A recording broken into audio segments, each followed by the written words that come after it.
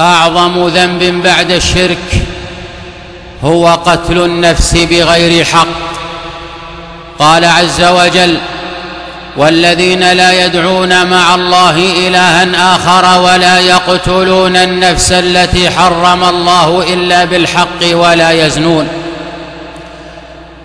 حتى قال ابن عباس رضي الله عنهما في إحدى روايتيه القاتل لا توبة له.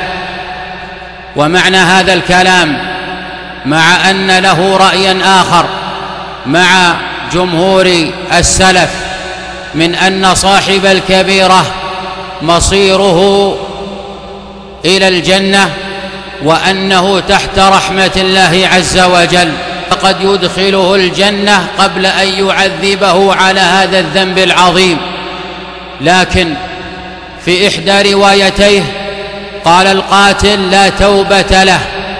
ليس معنى هذا أنه خالد مخلد في نار جهنم وإنما مقصوده كما قال شيخ الإسلام رحمه الله قال إن القاتل إن تاب فإنه إن قتل تتعلق به ثلاثة حقوق حق الله حق الأقارب حق هذا المقتول. فالتوبة الصادقة ترفع حق الله عز وجل تفضلا منه. أما حق هذا المخلوق فلا بد أن يأخذه. وكيف يأخذه؟ يأخذه من حسناته. قال رحمه الله ولذا رأى ابن عباس رضي الله عنهما أنه لن يبقى شيء من حسناته يعني من الطاعات لن يبقى شيء منها لأن الله عز وجل جعل قتل النفس بعد الشرك بالله عز وجل وبالتالي فإنه يعذب ثم يكون مصيره إلى الجنة. فانظروا كون هذا الرأي يصدر من ابن عباس رضي الله عنهما يدل على ماذا؟ يدل على خطورة قتل النفس التي حرم الله عز وجل قتلها. بل قال بعض العلماء قال إن الوعيد والتهديد الواقع في قوله عز وجل ومن يقتل مؤمنا متعمدا فجزاؤه جهنم خالدا فيها وغضب الله عليه ولعنه وأعد له عذابا عظيما أنها تصدق هذه الآية على صنف قاتلوا المسلم من أجل ما يحمله من الإيمان فإنه ما قتله إلا لما في قلب هذا القتيل من الإيمان وإن كان الجمهور كما قال رحمه الله في الفتاوى يرون غير ذلك. فما جرى من اعتداء صارخ على بعض إخواننا في الأمن هذا لا يقره شرع الله عز وجل.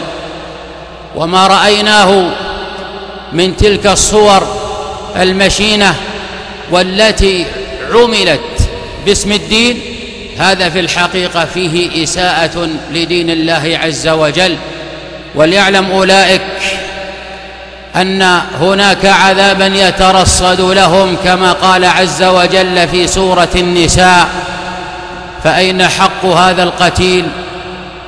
وهؤلاء الشرطة وهؤلاء رجال الأمن نعرف الكثير منهم من أهل الصلاح من أهل الخير والاستقامة نعرف الكثير منهم فأين حق هذا القتيل وأين حق الله عز وجل وأين حق أقرباء هذا القتيل فليتق الله عز وجل أولئك.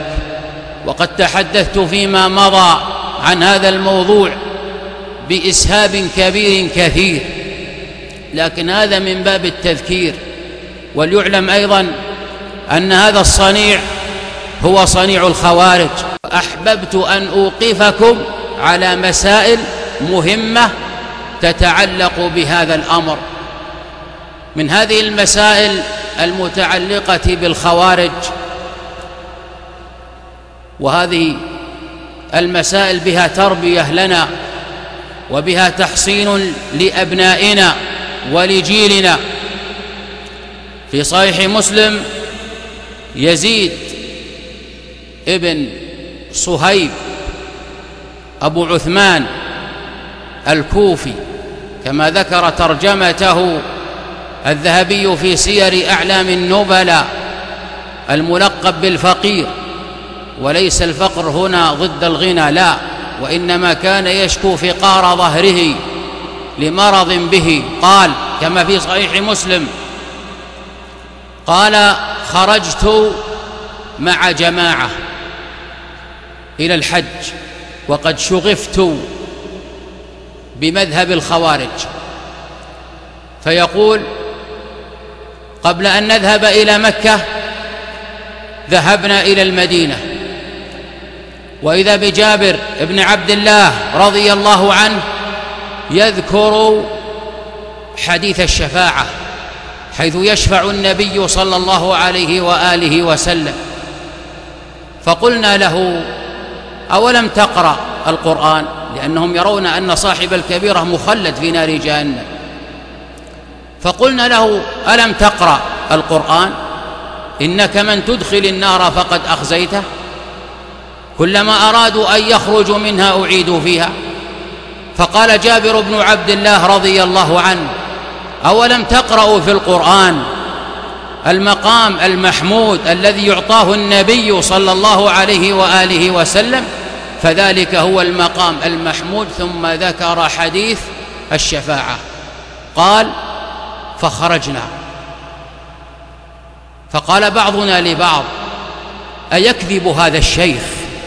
استفهام هنا للجحد والنفي. أيكذب هذا الشيخ؟ يعنون بذلك جابر. أيكذب هذا الشيخ على رسول الله صلى الله عليه وآله وسلم؟ قال فرجعنا فلم يبق إلا واحد منا على هذا المذهب. انظروا. قال شغفت. الشغف من أعظم درجات المحبة. قد شغفها حبا وانظروا رعاكم الله إلى خطورة الجلوس والمكث مع أهل الأهواء من الخوارج وغيرهم فكيف أثروا في أبي عثمان الكوفي الفقير؟ كيف أثروا فيه وعليه بهذا المذهب؟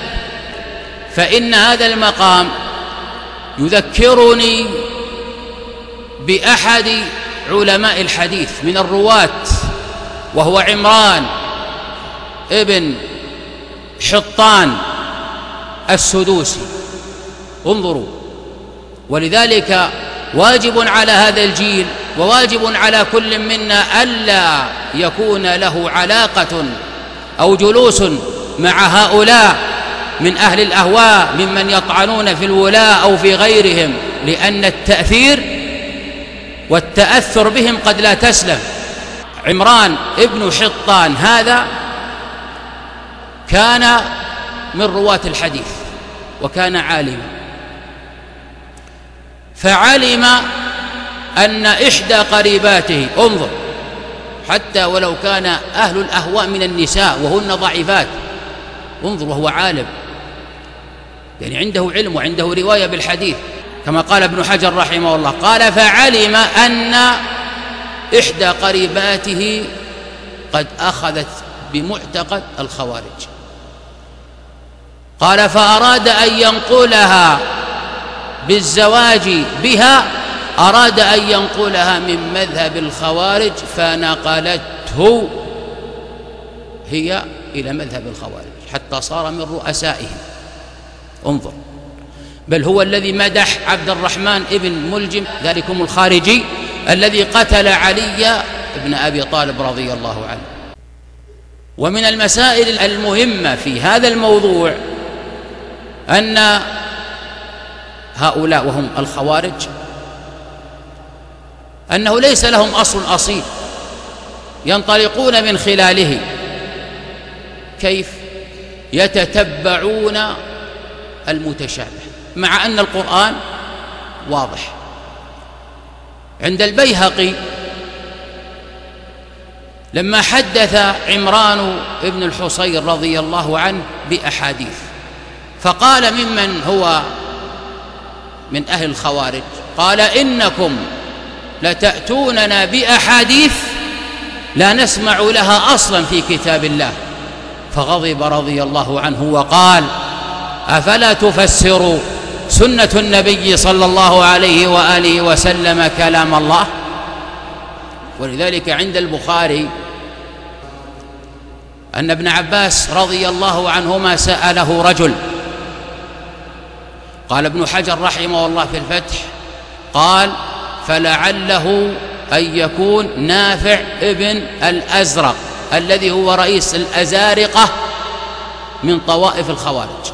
انظروا بعض الناس يأتيه الحق واضحا بينا إلا أنه يبحث عن دقائق الأمور مع أن لديه أصلا أصيلا. فكان يأتي إلى دروس ابن عباس رضي الله عنهما في مكة وإذا به يلقي عليه المسائل والشبه الحق واضح. ولذلك قال هذا الرجل وهو نافع قال إنه ليختلف علي كتاب الله. سبحان الله يختلف عليك كتاب الله.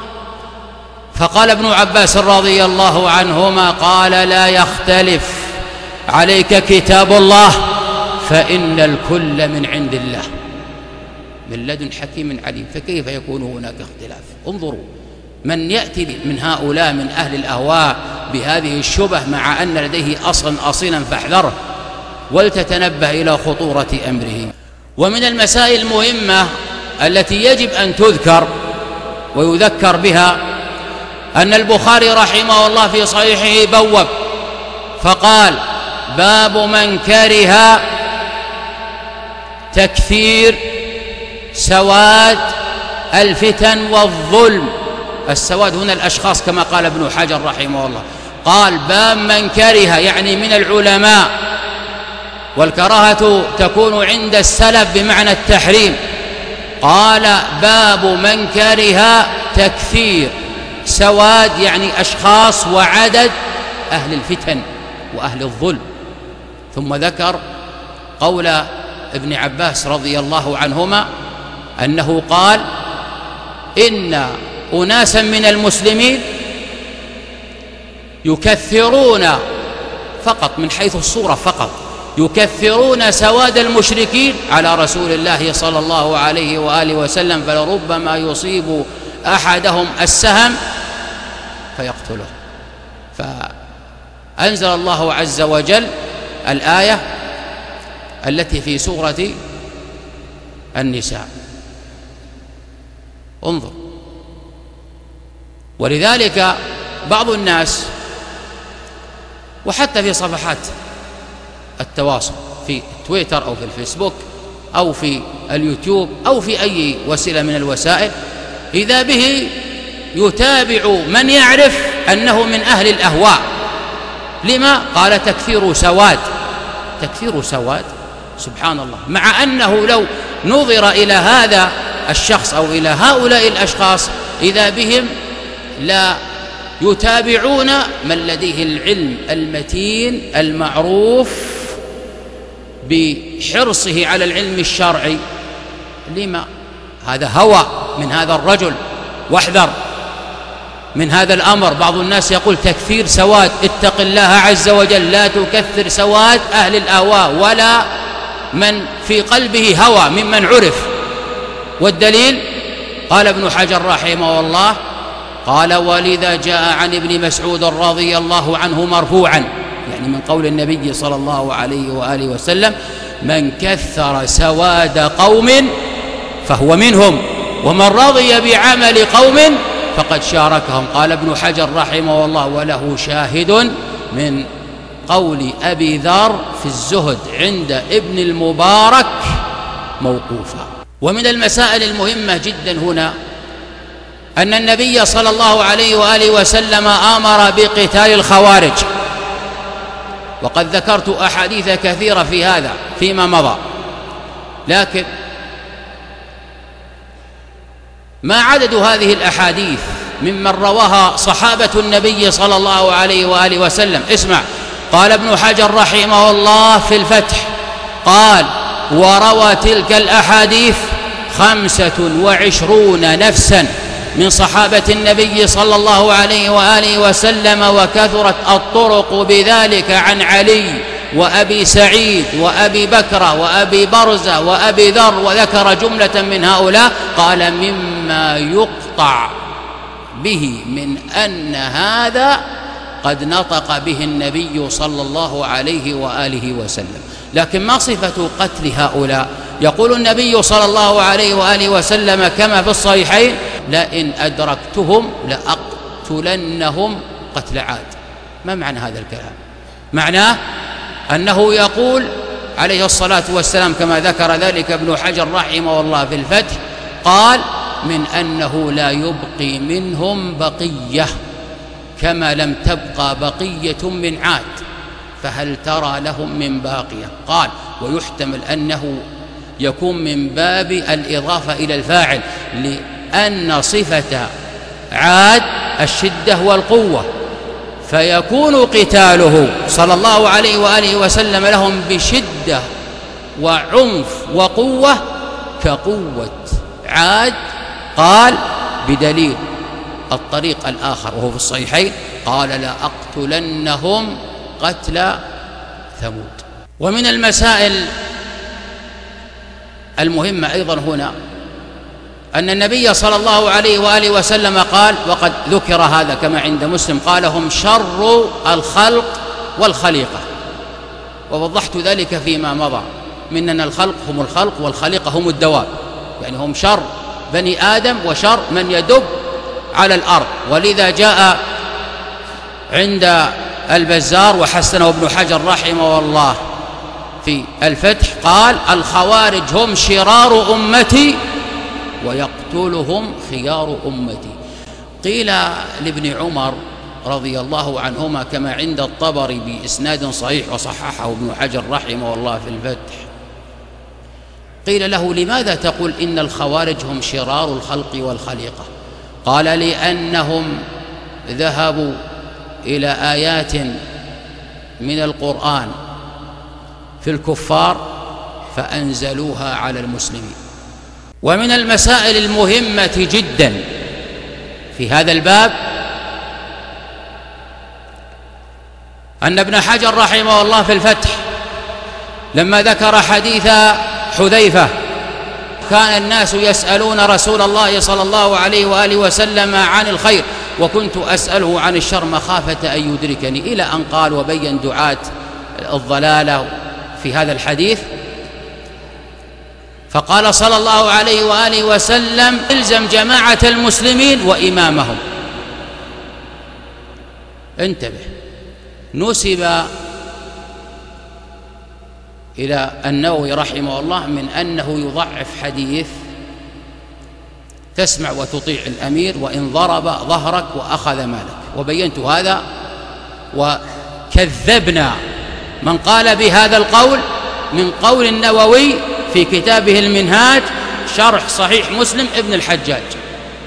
وهنا يأتي التوضيح والتبيين فيما نسب إلى ابن حجر رحمه الله مما لم يقله. قيل إن ابن حجر يضعف هذا الحديث أو في الفتح. بالتصريح الصحيح الواضح البين الذي لا غبار عليه. لما قال تحت حديث شارحا له فالزم جماعة المسلمين وإمامهم قال ابن حجر رحمه الله قلت انظر لو أنه قالها هكذا من غير أن يقول قلت قلت ربما أنه نقلها من أحد العلماء ونسي أن ينسبها. لكن كونه يصرح. قال قلت فهذا يدل على لزوم جماعة المسلمين وأئمتهم وإن عصوا. قال وإن عصوا. لما؟ قال لرواية أبي الأسود وإن ضرب ظهرك وأخذ مالك. ثم ذكر ما جاء عند الطبراني قال فإن كان لهم إمام فالزمه. يعني اعتزل تلك الفرق والأحزاب وأهل الأهواء. فإن كان لهم إمام فالزمه وإن لم يكن قال صلى الله عليه وآله وسلم فالهرب. ولذلك قال ابن حجر رحمه الله قال لأن الخروج على الولاة فيه تفريق لكلمة الأمة وفيه وقوع الفساد بين الناس. انظروا هذا كلام ابن حجر كلام واضح. ولذلك ذكر ما عند ابن ماجه قال صلى الله عليه وآله وسلم تعتزل تلك الفرق ولو أن تعض على أصل جذل وهو عود تحتك به الإبل حتى يأتيك الموت وأنت عاض عليه. ذكر رحمه الله كلام البيضاوي قال مما يدل على أن من عض الشجر عليه أن يتحمل ما يأتيه من شدة في الزمان إذا كثرت الأحزاب ولم يكن هناك إمام فليصبر. كما يقال فلان يعض على الحجر من شدة الألم. قال ابن حجر رحمه الله قال ويحتمل أنه يكون ملازما للعض على أصل تلك الشجرة حتى يأتيه الموت ولا يذهب إلى أي طائفة من تلك الطوائف ولا إلى أي حزب من تلك الأحزاب. قال ويدل عليه قوله صلى الله عليه وآله وسلم عضوا عليها بالنواجذ. هذا كلام صريح من ابن حجر رحمه الله في تبيين هذا الباب. ومن المسائل المهمة أنه كما قال ابن عمر رضي الله عنهما قال أتوا إلى آيات من القرآن في حق الكفار فأنزلوها في حق المسلمين. سبحان الله. أول أمرهم وذكرت ذلك وذكر أهل السير ذلك لكن ذكر أيضا ابن حجر رحمه الله في الفتح شيئا من هذا من أن هؤلاء لما جرى ما جرى اعتزلوا في منطقة مخالفين لعلي بن أبي طالب رضي الله عنه. فمر بهم عبد الله ابن خباب ابن الأرت وكان واليا لعلي بن أبي طالب على بعض تلك البلدان. فلما رأوه ومعه سريته يعني أمة يتسرى بها يعني يجامعها وفي بعض السير قالوا إنها زوجته. المهم أنهم أرادوا أن يقتلوه ظفروا بشخص هو يوالي لعلي بن أبي طالب رضي الله عنه وهو وال أو عامل من عمال علي رضي الله عنه. فأرادوا أن يقتلوه. وإذا بهم يمرون على طائفة من أهل الذمة.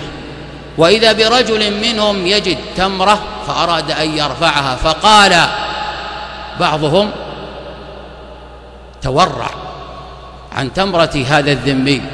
فقال عبد الله بن خباب ابن الأرد قال والله إن التورع عندي أعظم من تورعكم. من هذه التمرة. قاموا فذبحوه وجزوا رأسه ثم أتوا إلى سريته وبقروا بطنها وأخرجوا جنينها.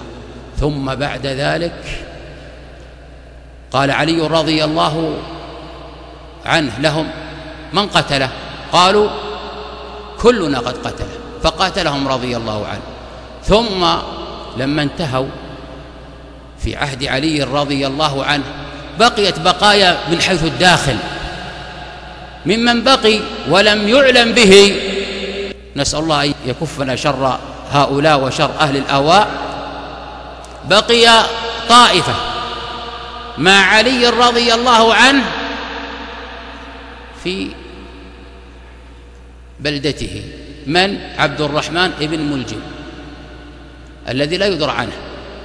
وإذا بعلي في إحدى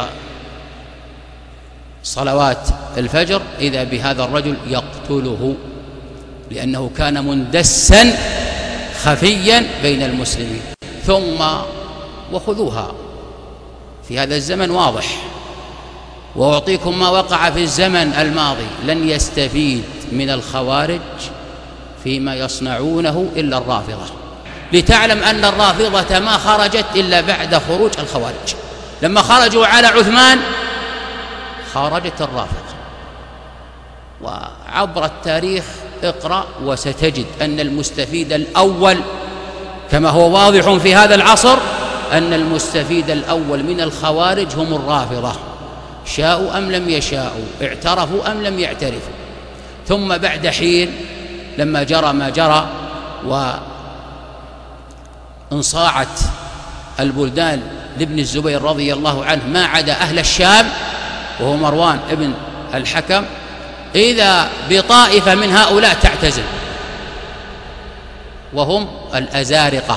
أتباع نافع ابن الأزرق. ذهب بهم إلى العراق. هذا الرجل الذي ذكرت أنه كان يجلس عند ابن عباس ويذكر له المتشابه ويقول إن القرآن يختلف علي. انظر. احفظ عقلك ووقتك من الشبه ومن الدخول فيها. انظر كيف وقع هؤلاء. رجل أراد أن ينقل قريبة له من مذهب الخوارج فتزوج بها فنقلته إلى مذهب الخوارج. وهذا كان يجلس في دروس ابن عباس ومع ذلك أصبح رئيسا كما هو الحال في عمران بن شطان السدوسي الذي أراد أن ينقذ قريبته أصبح رئيسا للأزارقة. وإذا بنجدة بن عامر في اليمامة أيضا طائفة. ولذلك قال ابن حجر رحمه الله قال فنجد ابن عامر عظم بطائفته وبفرقته عظم البلاء بهم في الأمة. ما الذي جرى؟ قالوا سبحان الله قالوا إن من اعتقد عقيدتنا ولم يذهب معنا ليقاتل فهو كافر. وقالوا إن يد السارق تقطع من الإبط. وقالوا من ترك الأمر بالمعروف والنهي عن المنكر فهو كافر. قال ابن حجر رحمه الله فعظم البلاء بهم. قال وهم عشرون فرقة. بعض الناس يقع في الإثم العظيم من حيث لا يشعر. ترد إلينا وترد إلى كل من لديه هذه الوسائل ترد إليه صور. وأحيانا مقاطع عن تلك الجرائم التي يفعلها هؤلاء إما برجال الأمن أو ما ينقله هؤلاء من تحركات تتحركها الدولة لعدو في الداخل أو لعدو في الخارج وإذا بهم يصورون وينقلون. وهذا سيحاسب عليه كل من فعل هذا الفعل. لما؟ لأن قضية إظهار التحركات أو الأحداث إنما هذا خاضع للمصالح والمفاسد. والذي يعلم بالمصالح والمفاسد هم ولاة الأمر. إن رأوا المصلحة في الإظهار أظهروا. أما أن يصور هؤلاء وتكون الهمة فقط التصوير وربما تصور أحيانا طريقة قتل هؤلاء المسلمين من هؤلاء الشرطة ومن رجال الأمن أو من غيرهم وربما لو كان حيا ما رضي بهذا. فلا يجوز هذا الأمر. ولذلك قلت لكم وأقول لكم إن هذا يخضع للمصالح والمفاسد حتى لأن بعضهم قد يقول إن هؤلاء الأعداء هم أعداء الدولة هم الذين يصورون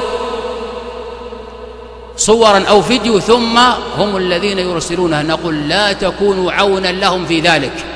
لا تكونوا عونا لهم في ذلك. ما يأتيك في جوالك فلا تنشره. لا تنشره لا في وسائل التواصل ولا في غيرها. وإذا جاءهم أمر من الأمن أو الخوف أذاعوا به. ولو ردوه إلى الرسول وإلى أولي الأمر منهم لعلمه الذين يستنبطونه منهم. يعني هو خير فينشر أم أنه شر فيكتب. ولذلك في الصحيحين النبي صلى الله عليه وآله وسلم كما في حديث كعب قال ما غزا غزوة إلا ور يعني هو صلى الله عليه وآله وسلم ما غزا غزوة إلا ور كيف؟ يعني لو أراد منطقة الشمال ذهب بجيشه من طريق الجنوب ليوهم العدو وإذا به من طريق آخر يأتي إلى طريق جهة الشمال. لكن لما وجدت المصلحة في إظهار غزوة تبوك للصحابة لم يورها وضح لهم. وهذا يدل على أن الأمر خاضع للمصالح والمفاسد من تحركات الدولة لصد عدوان في الداخل أو في الخارج أو صور معينة تبث. انتبه لا تصور ولا تنشر. حتى لا تكون معول هدم. ولنتق الله عز وجل فإنك ستحاسب من الجميع. ليس من ولاة الأمر فقط أمام الله بل من جميع المسلمين بل من كل مسلم. ليس من الضروري أن كل ما يأتيني في جوالي أنشره. ليست هناك مصلحة. حتى في أمور الدين يا أخي لا تنشر أي شيء. يعني كل ما أتاك نسخ ولصق وإرسال. ما الفائدة؟ ما الثمرة؟ انظر إلى المصلحة التي تعود عليك كشخص والمصلحة العامة التي تعود على أفراد الأمة. واعلموا أننا في خير وفي أمل. نعمة من الله عز وجل. والله إننا لفي نعمة. قد يحسدنا عليها بعض من الناس. أولم يروا أنا جعلنا حرما آمنا ويتخطف الناس من حولهم؟ سبحان الله. ابن مسعود رضي الله عنه يقول كما عند مسلم السعيد من وعظ بغيره. فتن أذكرها. في دروس لشيخنا ابن عثيمين رحمه الله لما قالوا عنه لما أتت بعض الفتن وبعض من يتحدث ويتبع أخطاء وزلات الولاة ماذا قال؟ قال انظروا إلى الواقع. ماذا قال رحمه الله؟ قال أنا لا أدعي اسمع. يقول ابن عثيمين هذا العلم المتين.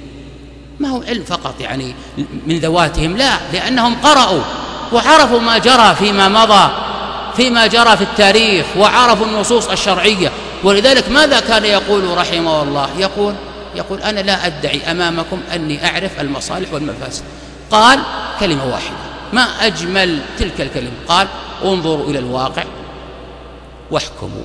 يقول لهم في ذلك الزمن انظروا إلى الواقع واحكموا حتى تعرفوا المصالح والمفاسد. وأنا أقول في هذا المقام انظروا إلى الواقع في هذه السنوات وفي السنوات الماضية التي يعبر عنها نسأل الله السلامة والعافية تمليحا لها بالربيع العربي. انظروا إلى المفاسد والمساوئ.